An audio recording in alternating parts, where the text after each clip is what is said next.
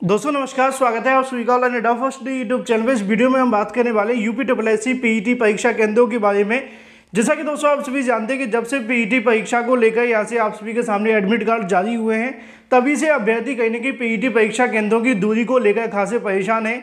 लगातार ट्विटर इसके अलावा और भी जगह इस मुद्दे को लेकर अपनी आवाज़ उठाई गई कि पीईटी परीक्षा केंद्रों के अंदर बदलाव किए जाएँ।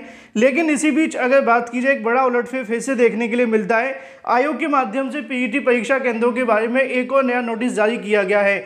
वीडियो को लाइक कर दें, साथ ही शेयर कर दें और चैनल को सब्सक्राइब कर लें, जिससे कि जानकारी आप सभी को ऑनलाइन ऑफ़ चैनल के माध्यम से रियल ऑथेंटिक सबसे पहले मिलती है। चलिए दोस्तों वीडियो शुरू करते हैं।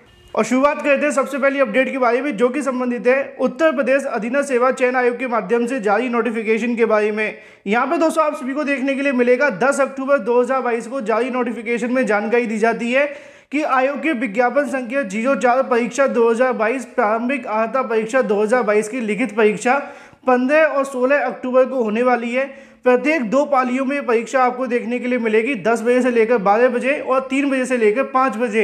उसी के क्रम में अगर बात की जाए, प्रारंभिक अर्हता परीक्षा को लेकर परीक्षा केंद्रों में बदलाव किए गए, क्योंकि आप जानते हैं कि उत्तर प्रदेश के अंदर लगातार बारिशों का माहौल जारी है।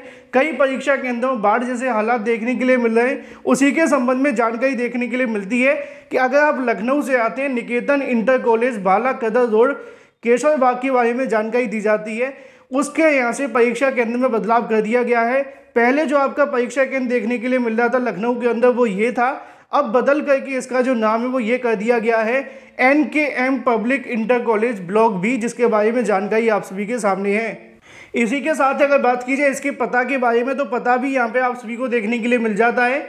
ऊपर जानकारी जो दी गई, उसके आधार पर अगर बात की जाए, अभ्यर्थियों के बारे में, संशोधित परीक्षा केंद्र के अनुसार अपना संशोधित प्रवेश पत्र भी आयोग की वेबसाइट से डाउनलोड कर सकते हैं। तो यहाँ पे यूपी डब्ल्यू आयोग के माध्यम से एक परीक्षा केंद्र में बदलाव को लेकर नोटिफिकेशन जारी किया गया है। साथ ही उस परीक्षा केंद्र में बदलाव के साथ नया नोटिस भी जारी कर दिया गया है और इसके साथ आपके एडमिट कार्ड भी जारी हो गए। वीडियो को लाइक कर दें, साथ ही शेयर कर दें और चैनल को सब्सक्राइब कर लें।